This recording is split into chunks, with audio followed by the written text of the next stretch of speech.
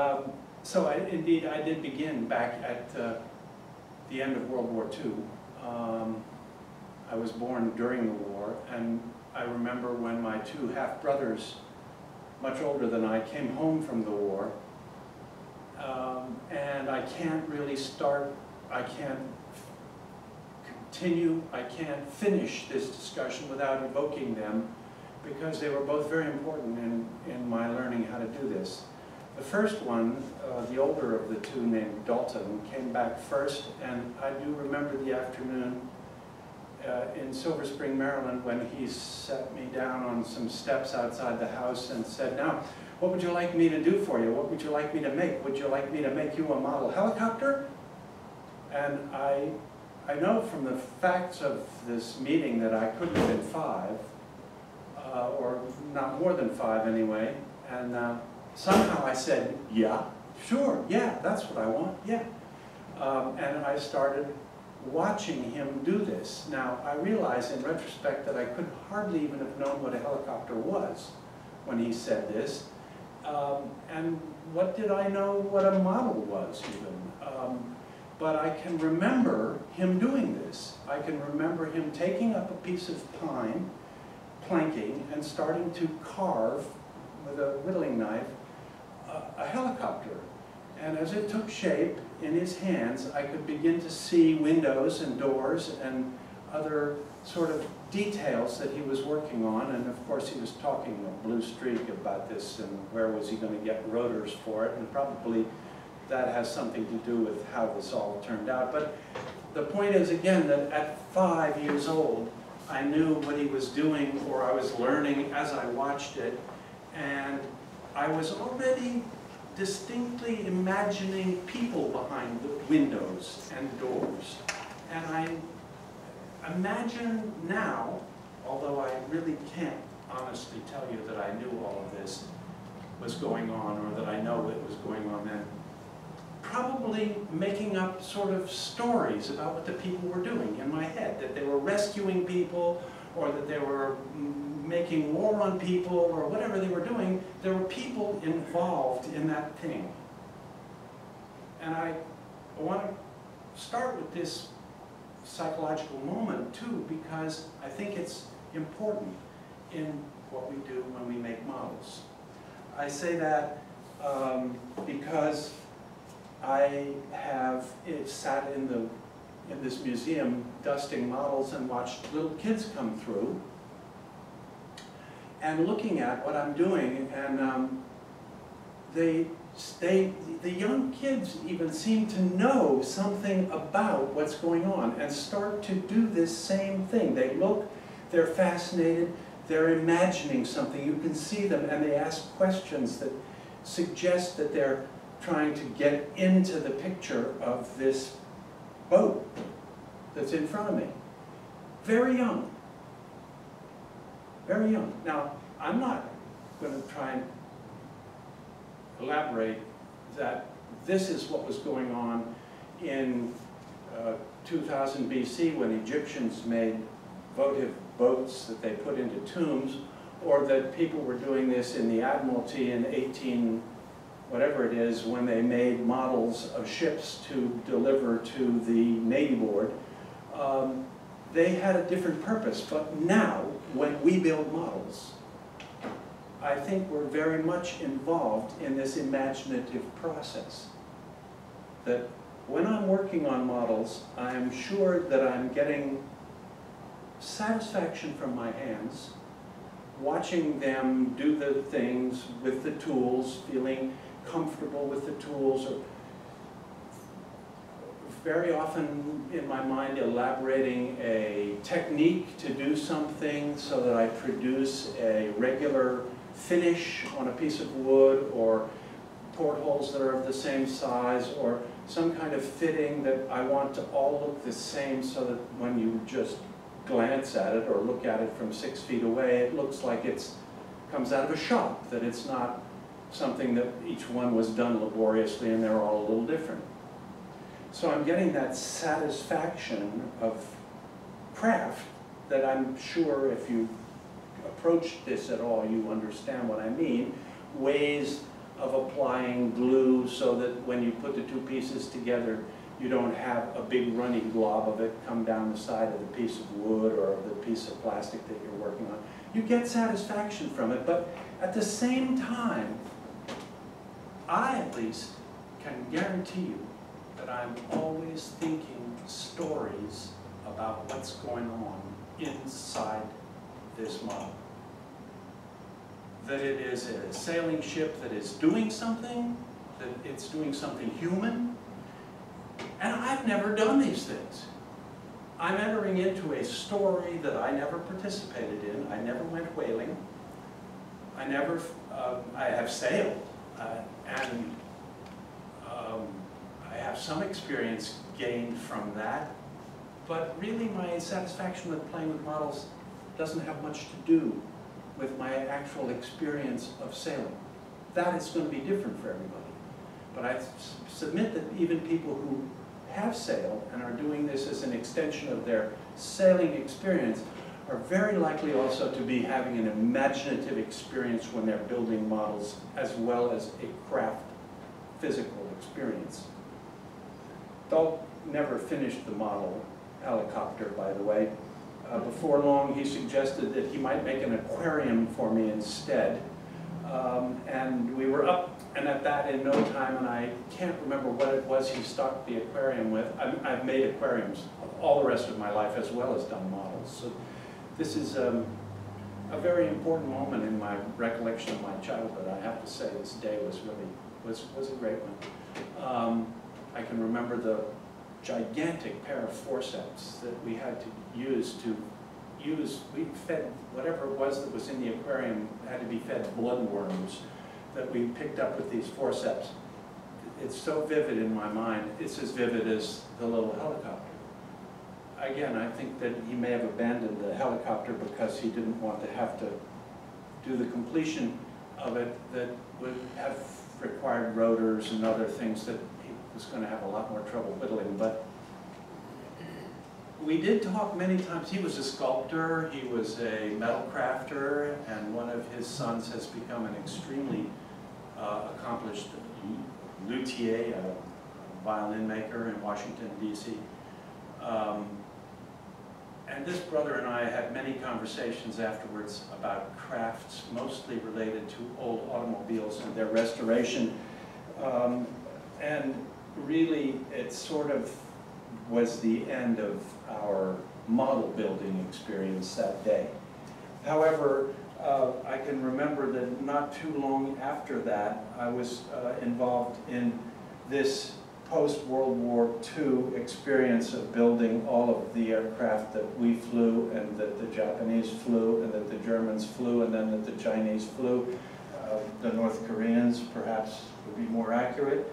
Um, the uh, joyful experience of uh, assembling these plastic models was only equaled by the experience of stuffing them with more of this glue. It was Duco cement from DuPont uh, in their tails, uh, often putting firecrackers in them as well, lighting them, spinning them around on strings until they were ready for a good crash landing. And while we did it, we were narrating the event with radio transmissions and um, all sorts of stories about disasters that were happening and hero, heroic activities. And it was very much what we did. How big was this with your hands? This is 48 to 1 scale, which means that if you multiplied it by 48 times, it would be maybe about 30 feet long, 35 feet long. So, but, I mean, the model itself was about so big? About so big. That's what I want to know. Right. Um, we did literally dozens and dozens and dozens of these. Uh, ships as well. Uh, don't be taken aback because it's an airplane. I was also very fascinated with the submarine service and uh, loved making submarines and other kinds of ships that were popular at the time. Uh, obviously, this is one that was considered considerably later. This is the Nautilus, which was an, our first nuclear sub, and it came out in the 50s. I was already making the other classes of submarines from World War II at that time. Um, I should also mention a summer camp I attended in the early 1950s, Lantern Hill Camp uh, in Ledyard, Connecticut, which is about eight miles from where Mystic Seaport is. Mystic Seaport was just opening in 1951 or 52. I went to it every summer for those years in the early 50s when I was learning how to swim and to canoe in, uh, in the pond out there behind the camp. Um, but very importantly, I was also in the crafts room. And in my group, I have to say I was like, I excelled. I had the star from being the craft guy in whatever cabin it was. Um, largely because of doing things like spending an entire summer carving one squirrel and sanding it. Um, I remember the crafts guy teaching me that he said, woodwork is about sanding. Sanding determines the quality of woodwork, woodwork. And taught me about different grades of sandpaper and how you move down to the finer ones and ultimately made a finish that you would polish. Um, I myself think it really has much more to do with, simply with patience, but I guess it's, it's not entirely unrelated to the sanding lesson that I got from Lantern Hill Camp. Back in Washington, I continued to build models. Now I was inventing buried treasure stories to go with the ships, empires to defend with the planes, drawing treasure maps and designing currency to go with these countries, etc., as well as building models to do this kind of stuff. I built plastic satellites. I remember putting one up in a tree and thinking, well, it is actually rotating somehow in space, but never mind. Um, I've made rocket ships to go up the alley and uh, shoot these things, and um, you probably did many of these things too if you're of the same age. In the 1950s, it was about rockets. That was where the fun was. Um, and they moved, and they made, they made the, the bang, smash sound and smoke and all the rest of it. It was great. Um, until we left Washington for a spell in Geneva that changed my life in many, many ways, including being the scene of my coming of age in internal combustion, which I will avoid tonight because otherwise we will not get back to model ships. Um, motorcycles and to some extent old cars have been um, a passion for my entire life. Uh, when I returned to the U.S. to go to college, I got to know that other half-brother, Jim, a lot better. Uh, as his house became my surrogate home, my parents being still in Europe, uh, much of his attention was given to building a model train set um, a layout. It wasn't a set. It was a permanent installation in the attic of a rather large colonial. And at various places it went to two levels. It was a scale model of a train line that he created with his own name. He got decals made for the cars. It was a train line that ran from Hartford to where their country house was near Rutland, Vermont. And he built houses that were all along the way, including their houses, including bars in Hartford. I remember there was Dalton's Bar, which is the other brother's bar, uh, and his wife Judy's pawn shop was on another corner. It was, um, it was a fabulous thing, and he built it all in HO scale, which is the first time I've said that word tonight, and for those of you that are listening to me and don't really have a lot of experience in this. We need to talk about this business of scale a little bit. Uh, HO gauge actually refers to the separation between two rails. That's a distance between wheels of a car. But it also reflects a scale, and it's 87 to 1. So when your train car is this long, you have to imagine 87 of them to get an idea of the whole length of that one car. And the scale, obviously, between Hartford and Vermont was not 87 to 1 in this attic, but there were fanciful moments when you would go through a tunnel and now you'd be in northern Massachusetts, or you'd now be, and it would change. But when you got to a place, it was all in this scale of HO. This makes a person a little less than an inch tall. Um, I spent many, many evenings at their home at, during my college years. As I say, was, they were my, sort of my surrogate parents when I came back to college. And I began building models again then. I remember at this point building a uh, 15 or 18 inch long Gertrude L. Thebaud uh, schooner. This was really the first difficult model ship that I did, and I say difficult because it was fully rigged, or at least as fully as the plans intended. I of course now know that um, even a model ship that you rig pretty well is not anywhere near as rigged as a real running square rigged vessel. Uh, can talk about that a little bit at the end. I have a book to send you to if you really are interested in knowing what every rope or cord on a ship is about.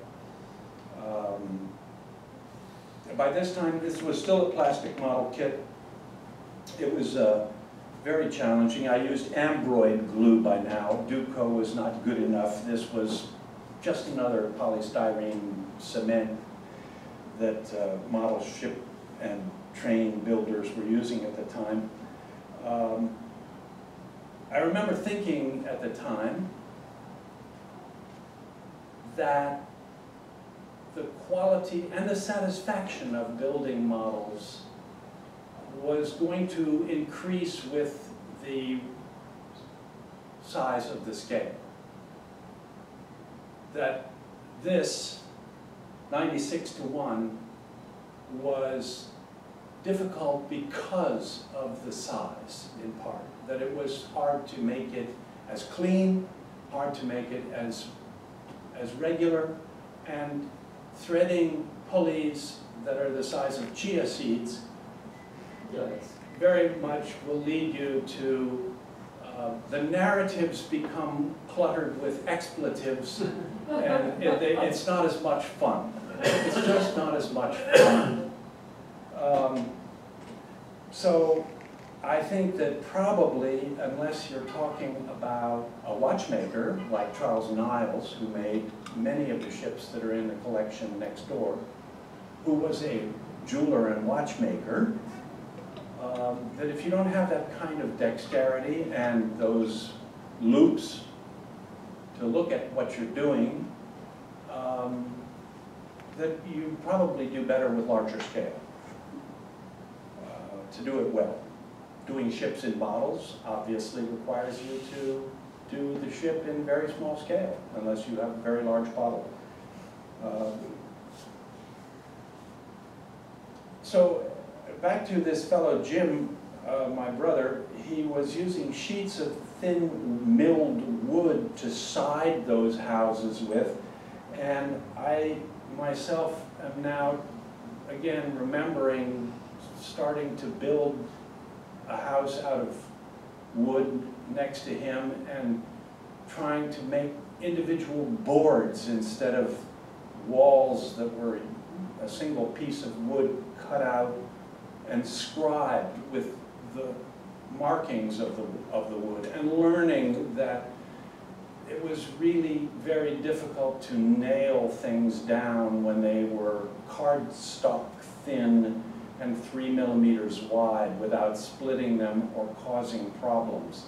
I learned at that point about pin drills and how to put a pin drill through a piece of wood before then putting the nail in. Uh, in short, drilling the nail hole before putting the nail into it, the only way to avoid splitting and damaging the piece of wood.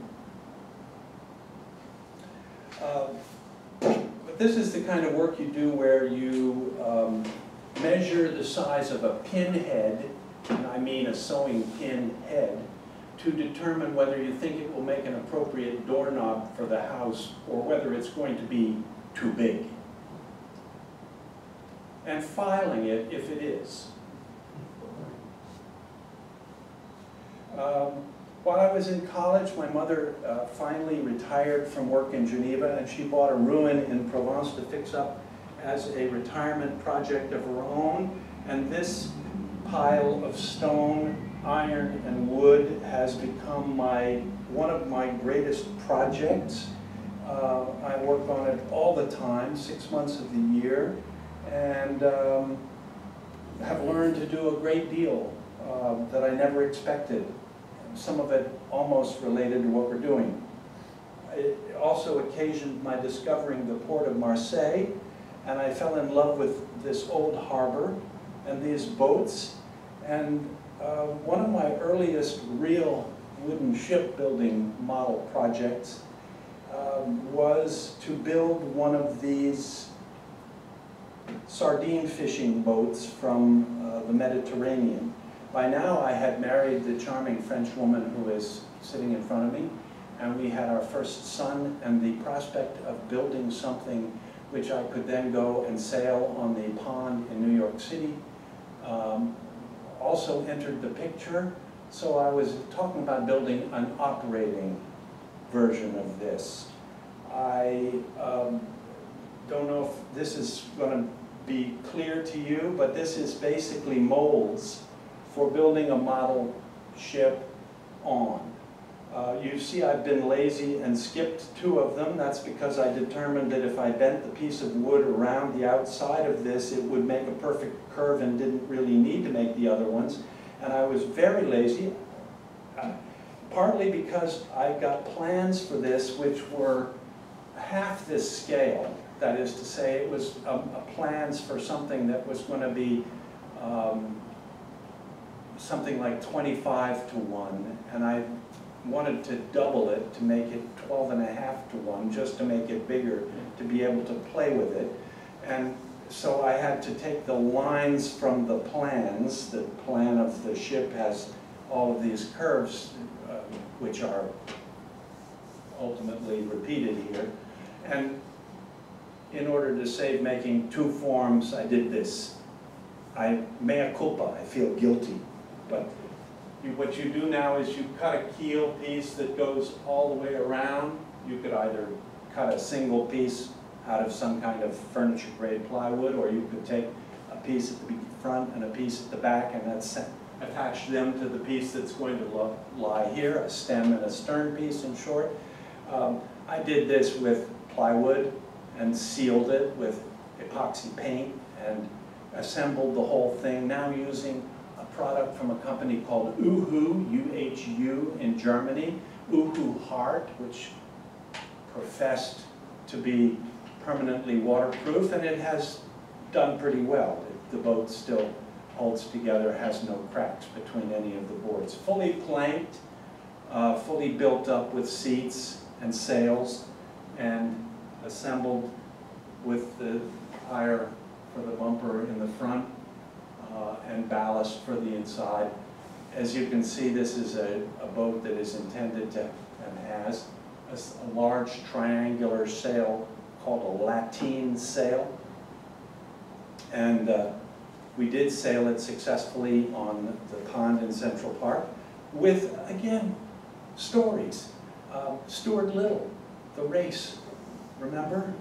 Um, that was definitely on our minds as we were sailing it.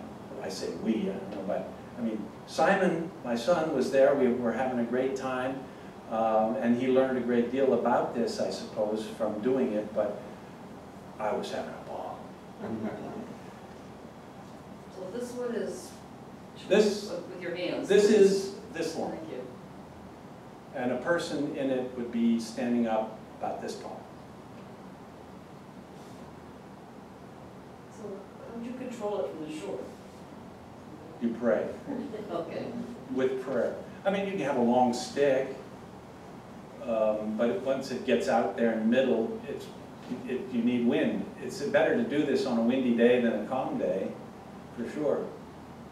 Uh, but it, it sails, it, it didn't get away.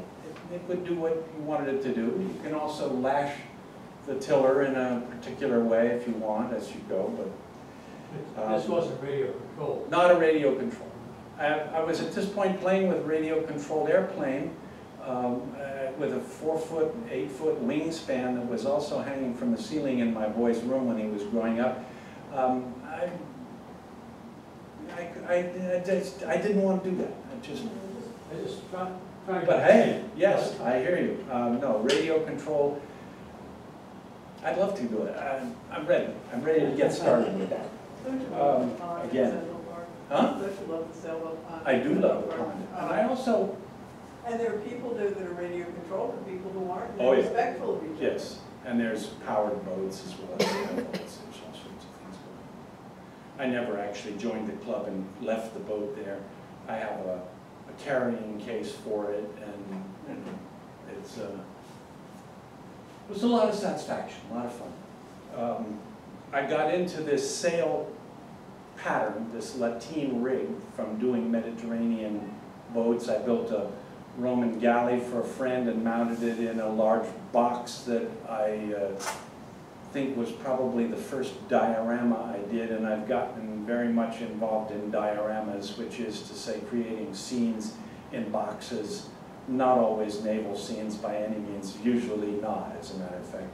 But um, I got enough involved in this sail form to sort of want to try and build everything in every sea that had a lateen rig and it is the, um, the kind of, sail that is on Arabian boats that sail in the Arabian Sea down to uh, Zanzibar on the coast of Africa and down to Bombay on the coast of India.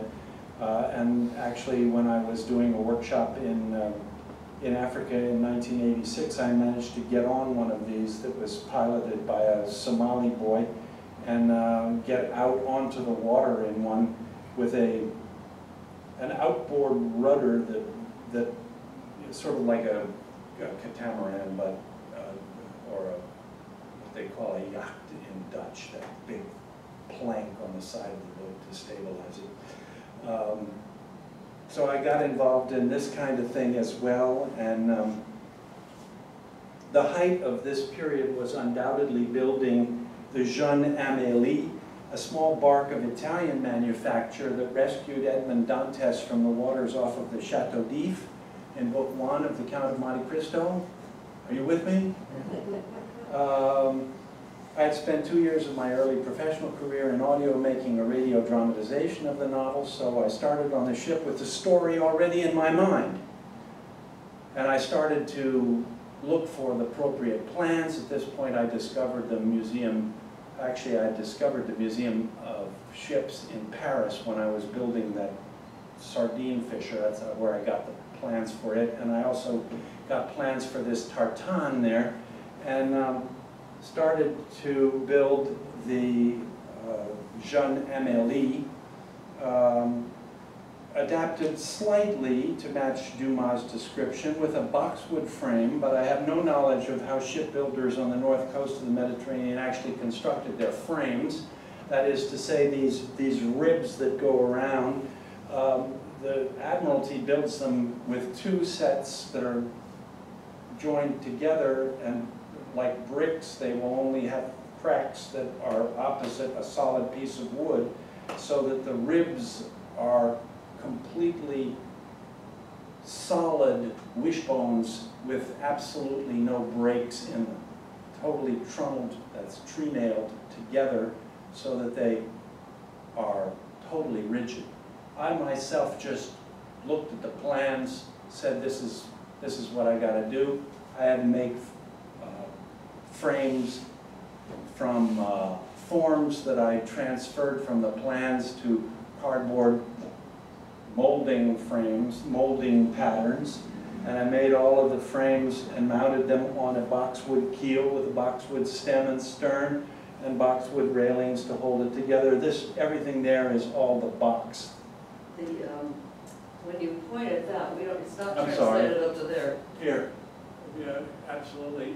Uh, This is only the second time I've ever done a PowerPoint lecture in my life, but uh, I, I really detest them.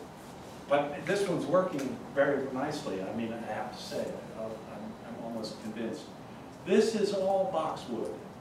uh, even these little pieces here that are holding the tops of the frames ready for the gunnels to sit on, so that they are, they don't move, they don't bend, nobody bumps them and breaks them off. But these are continuous pieces that go down to below there, and then they join, and that's, every joint has been doweled, drilled out, and a wooden piece has been put between, they are all mortised, and every one of those is pre-drilled, and then the glue is introduced and you push them in. I made this all with, um, uh, what's called Franklin's liquid hide glue, which you can still get uh, in the United States, although it's not in most hardware stores anymore. They sell these vinylic carpenter's wood glues, which I frankly, I frankly don't like them at all. I don't know what anybody else thinks about. But I don't think they penetrate the wood, and I don't think they harden as hard as the wood. This liquid hide glue is basically an animal collagen. It is traditionally made from rabbits. Uh, rabbit skin melted down, cooked up, and made into like little gelatin pellets, which you then put into water and cook.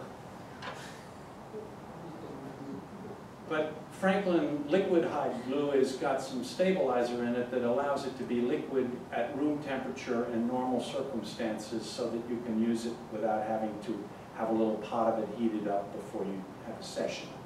But it does dry as hard as, as hard as amber resin. And uh, it can be also melted with a hair dryer and moisture.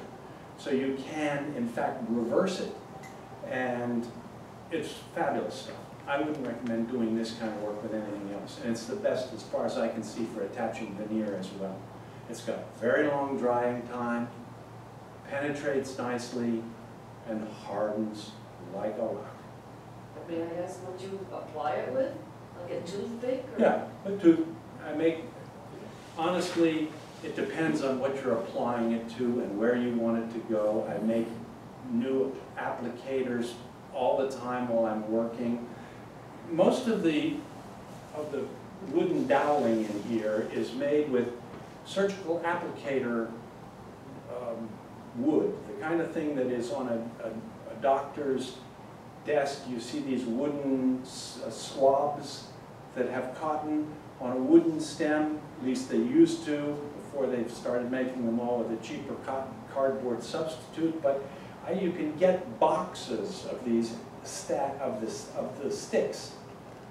They're about a millimeter and a half in diameter, and I use them for, for making doweling, and, and I also use them for making applicators for the glue. And cut the tips of them into different shapes so that you can push the glue down into the place and smooth it, scrape it off, etc. Constantly doing this, constantly.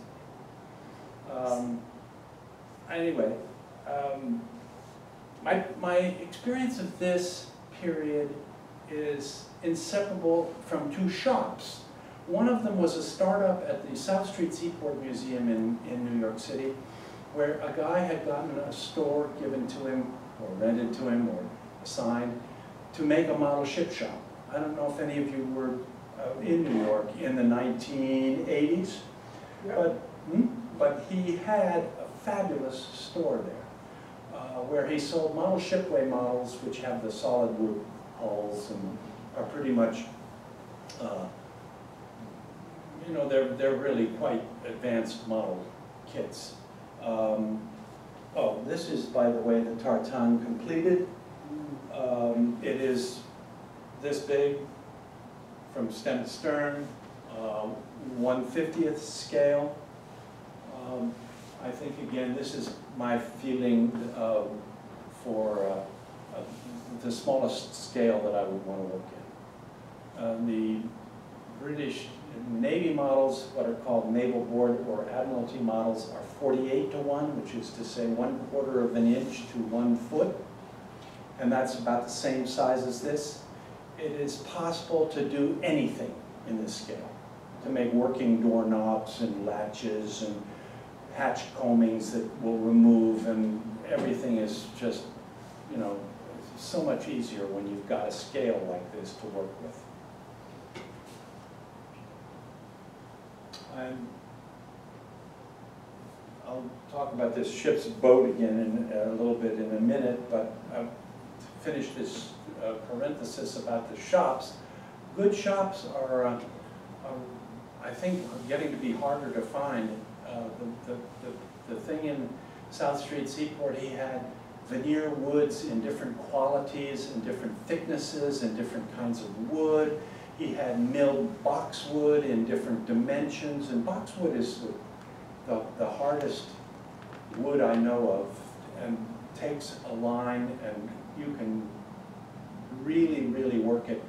It's very hard to work, but it's, I, I recommend it if you're gonna do framing for this kind of thing. And then what you put on that will not move. Castello, Oxford. Sorry? Castello, Oxford. Castello Is that a, a brand or a, or a species? species. A species? Yeah. Um, I think it comes from Spain or Europe or Southern Europe. well, there, I would, I'm a modern too, so I, I know what you're talking about. yeah, and you buy box, this, something Yeah. called Castello boxwood? Yeah, there's a couple of places, there's a couple of companies here in the United States that make it. That, that, They- that sell They it. get it, yeah. Augustine Yeah. lumber Hmm? still exists, a place called Augustine? Um, Yeah, Constantine, Constantine. Constantine. no, um, that one I'm not familiar with. Well, they were in the Bronx for a Yeah. while, but then they Yeah. moved to Florida. I'm not sure if they still Well, exist, Model Shipways is still around, they're Yes. down in Florida, right? they go by Model X now. Uh-huh. Model Shipways is owned by Model Uh, Expo. It used to be in Jersey and south. Well, this is very useful information to me. I, I would uh, put it on my bibliography if I had known it, but uh, I will, uh, I'll take the note from you. Um, Anyway, I bought this model ship from him. There's one of these in the, uh, in the museum here. It is originally the Harriet K. Lane.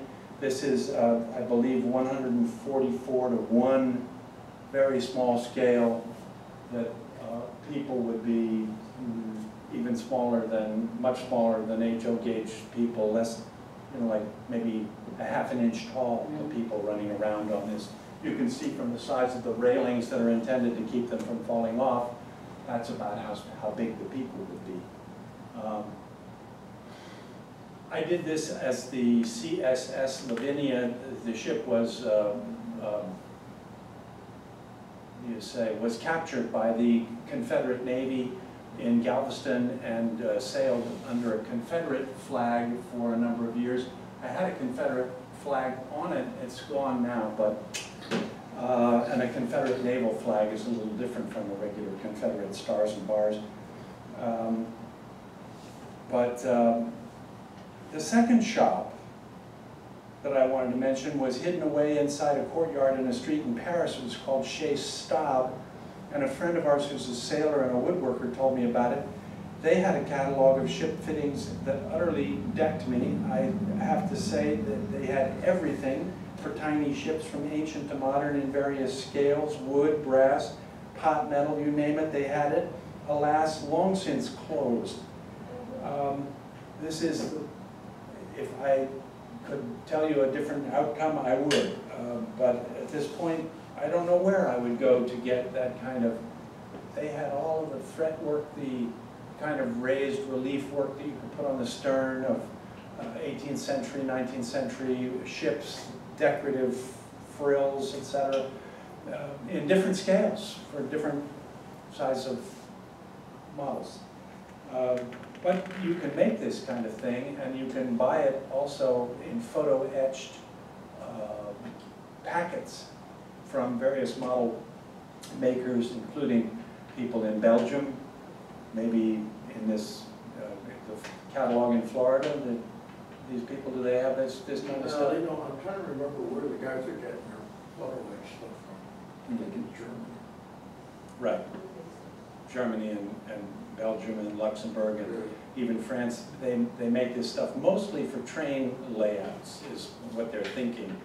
Um, I know that I I built a diorama, a picture of a, a street in, in Eastern Africa and wanted railings for the balconies. Managed to find just about everything by, again, lengthy searches in train model shops, finding the catalog, writing to the companies, etc. Um, So I knew from the story, as I said, of this um, Count of Monte Cristo boat that the, uh, that Edmond Dantes had gone ashore on the island of Monte Cristo. The plans didn't include a ship's boat, but I said I was going to modify this model to fit the novel. And so I carved from a solid piece of cherry and scribed the planking on it, this little ship's boat. It is literally this long. Uh, and carved benches and floorboards and everything out of the wood that I took out of the middle of it.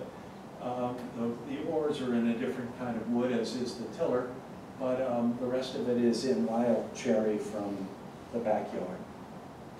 Uh, And I still have a stack of milk cherry wood from that tree that um, I'm hoping to build uh, something else with, who knows what.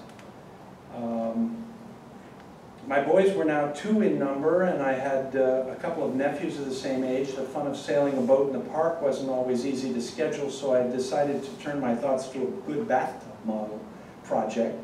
Um, I'd always wanted to be a submariner. The Navy rejected me because I'm too tall. And I really loved the USS Monitor, so, um, gee, this thing is going nuts. So I went to a library of all places and got these um, plans for a monitor, um, took the uh, plans and blew them up to the scale so that, so that the thickness of the, of the, of the deck up here was three quarters of an inch, which is what a finished plank of pine comes to, and scaled the rest of it accordingly, uh, made a turret for it appropriate, again, in dimension.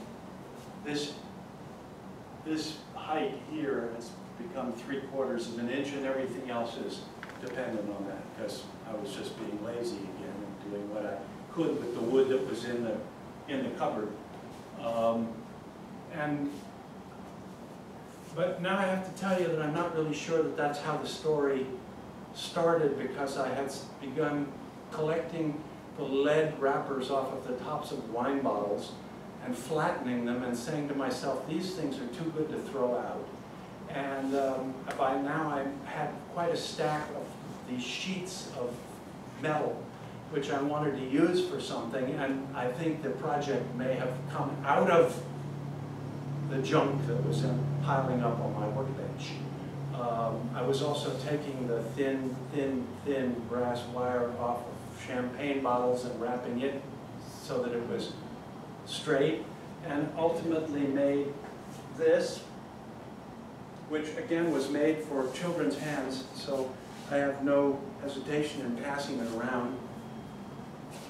Uh, it's been in many battles, and um, it's all been uh, made out of uh, basically plain old pine with um, two little Dahlgren cannons that came from model shipways, probably intended for the Harriet K. Lane, uh, stanchions and railings from model shipways and Chez Stab, and the, um, the wire from champagne bottles. All of this was done with uh, five-minute epoxy, which has become my go-to glue for putting this stuff together and not having to wait around.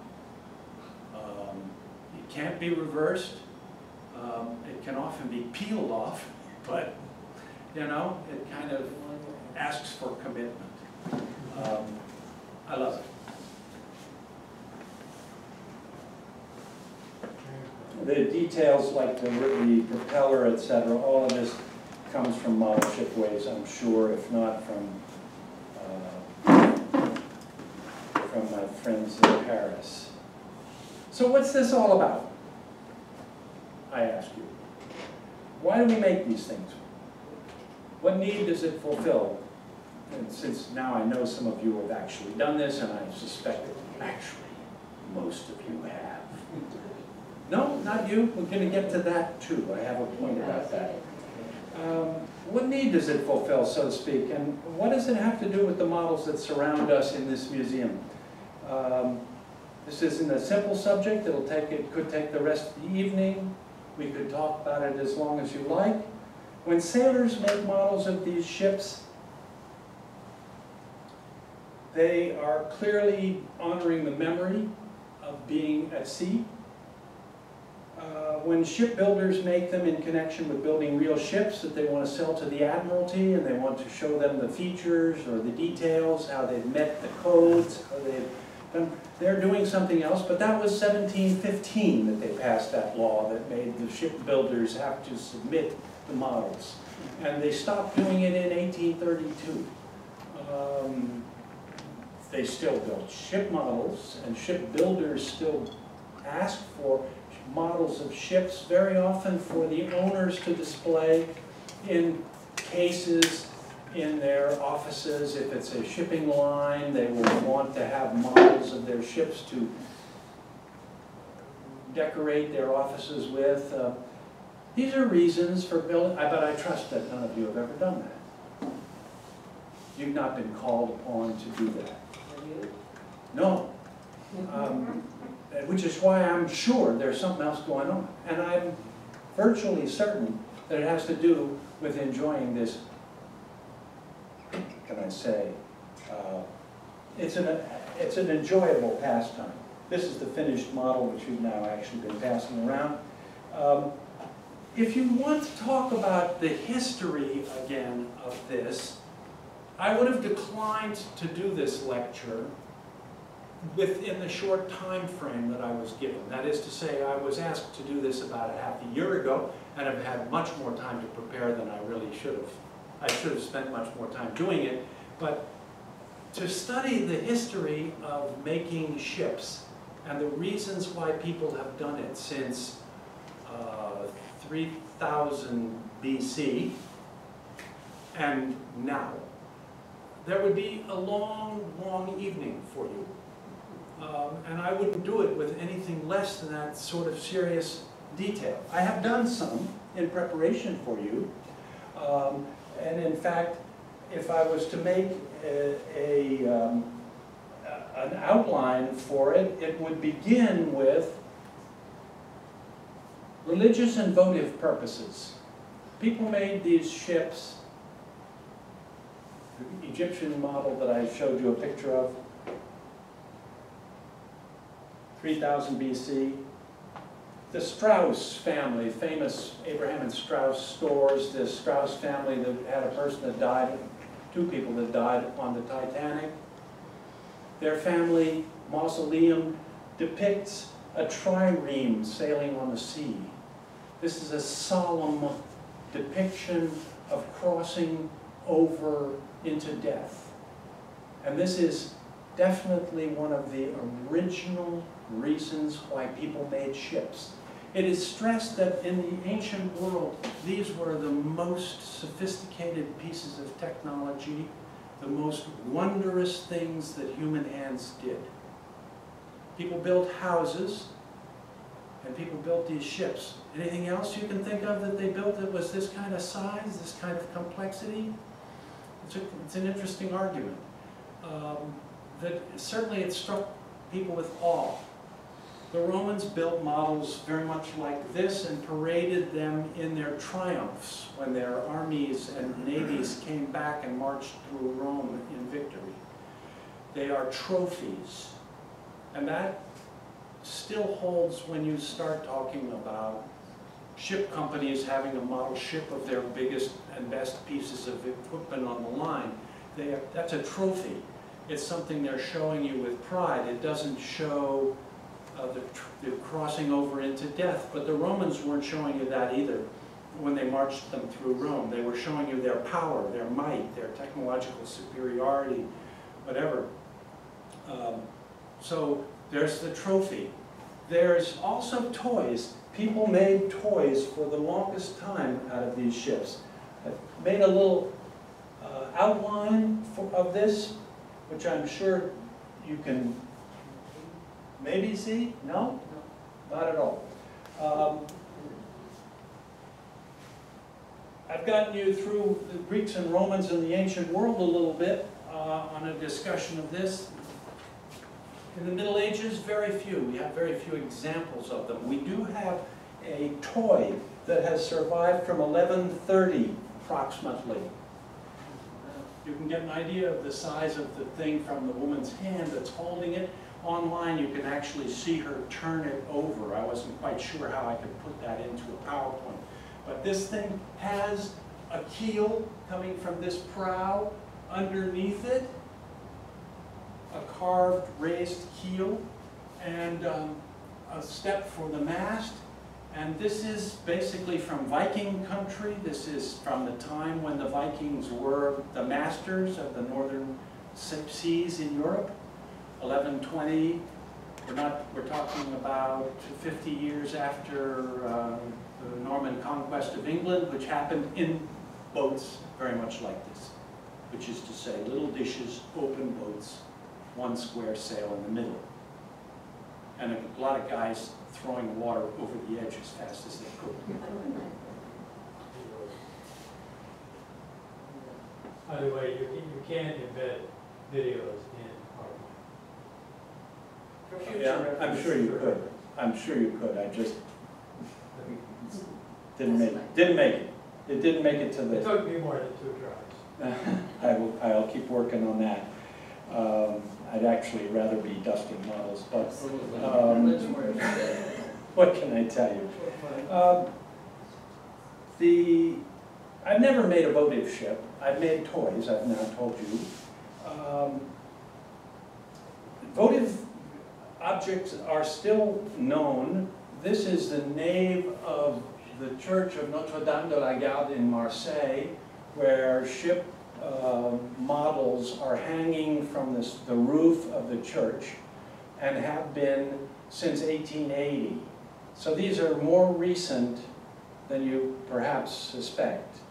These are thank yous to the Virgin for saving people at sea. There are also paintings on the walls. Some of the sailors would paint their thank yous, but many of them at this time, in the 19th century, were, would carve a model to offer to the church in thanks. So the business of making votive models and having uh, a wish, the votive, the word votive means it, it is connected with a wish. Um, and the wish being again to honor the ship and very possibly also to thank somebody for a miracle that got them home. Um, Again, I've never done this, which is to build a true admiralty model. This is what I'm saying, uh, you can buy this kind of uh, elaborate fretwork. I would, I suspect that we can do it in England. I'm, I'm very interested in finding out what's going on in England and have the intention of joining a, uh, uh, a workshop there in uh, 2018, if anybody's interested. I found out about a workshop at, in, in, at the National Maritime Museum, and if you'd like to come, I'm not gonna pay your way, but I'm, I'm going. Um, and I'll, and I'll bring back any details that I can for you. So, um, I made operating models as toys, um, and that word, I think, is maybe the, the answer to the question. If I were to give you an answer to the question, what am I doing, and what is it that motivates us 20th, 21st century modelers? Come on, this is, we're playing, right? These are toys. We're making toys, not necessarily for our kids, don't touch that, um, for ourselves. And I don't want to get into this boys and their toys thing too deeply, but it is, do intend to close on the question of gendering of this because it's the 21st century and that's all we talk about these days. So we have to at least mention that female model shipbuilders are rarer than female skateboarders. And I want you to know there are female skateboarders. I was really thrilled to see two women working out there in the shipyard. Here. A little surprised, perhaps, but less so today than I would have been 20 years ago. Yeah? Well, things are changing. You notice that a woman is the co-pilot of the current winner of Formula One races in the United States in, a, in an Acura